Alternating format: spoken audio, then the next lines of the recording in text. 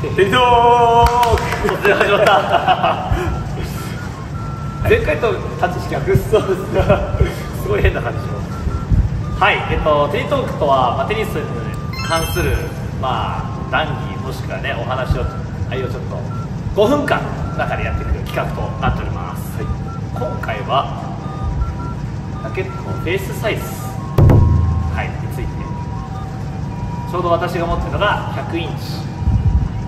で、えー、菅谷コーチが持ってるのが、104インチです。はい、100インチを超える、まあ、オーバーサイズと呼ばれるあのフェースになってます、はい、で今日はそれについてちょっとお話ししたいと思います。じゃあ5分ない。その膨らみは何ですか？これはテニスボールとハンカチ話です。はい、はい、わかりました。じゃあ5分いきますねでは制限時間5分いきたいと思います。スタート。はい。はい。今持ってるのが104 104それいいってめちゃくちゃ言ってる。んですけこれもう購入ですこれ。ど購入。あ購入ですか？もうめちゃくちゃいいです。めちゃくちゃいい。104インチでももうスイートスポットが全部スイートスポットなんかなって思うぐらいでかくてめちゃくちゃ気持ちいいですストレスがない。パワーもある。ラケットのフレーム圧自体はそんなに分厚くはなさそうなんですけど、まあ、シャフトの分ちょっと厚くはなってますがまあボックス系で薄い部類ではあると思うんですけど実際に、まあ、菅谷コーチ、まあ、今は E ゾーン使ってるんですけど E ゾーン。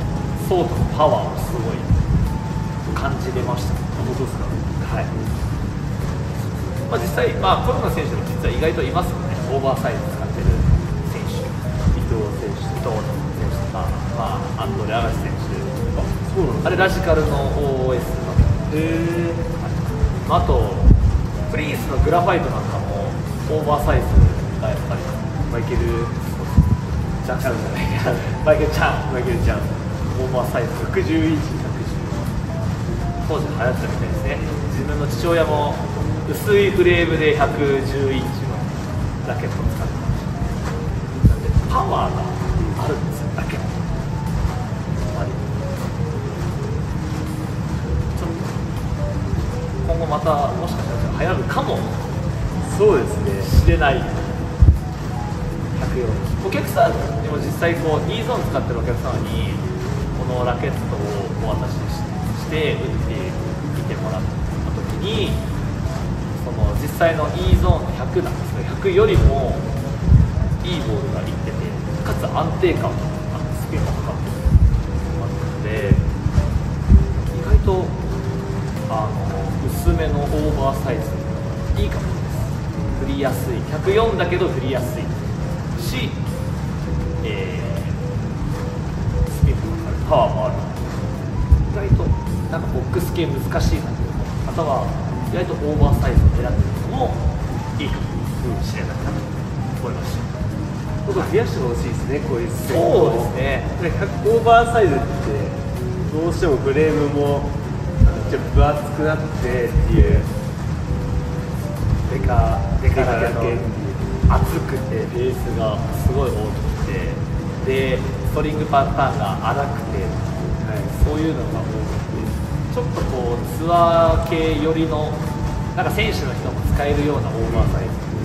競技系オーバーサイズ。オーバーサイズがまたちょっと今後復活してくると面白いなそうですね。選手も使えるし一般の方も比較的に扱いやすくなるのかなと思ったのでちょっと今後増えてほしいですね 290g ですかそうです。290めちゃくちゃパワー打ち負けてる感じがします全くない。ですね全くまあ290だったらまあ僕らだと重りとかで調律して300に近づけてバランスだと調律すればもう試合で全然ねガッと張り替えてこれ入りたい。ですねこれやってでちょっと肩からレザーグーグリップ良さそうだねなんか大きく見えないんですよ。いや全然見えない。パーセプトに限ってなんですけどこれは。それぐらいの差が。はっきりわかんないですけどどこあ並べたら。まあちょっとで大きいか。でも振ってる感触は本当に変わんないですよね